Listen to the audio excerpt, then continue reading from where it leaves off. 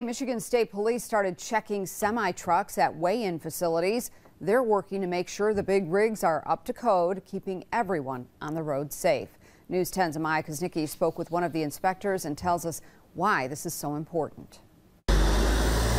Each year, for 72 hours, the Michigan State Police Commercial Vehicle Enforcement Division inspects semi trucks at weigh in stations across the state. Come together, work the 72 hour operation um, for high visibility and um, high enforcement um, on, uh, on our roadways.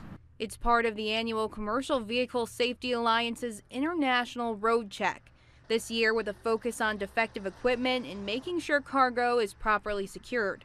We try to focus on maybe some parts of equipment that aren't looked at as closely with every inspection.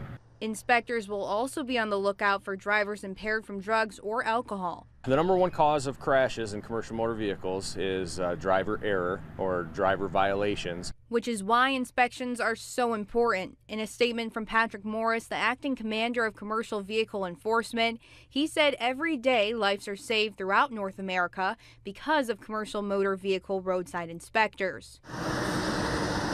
So you can safely share the road. In Lansing, Amaya Kuznicki, News 10.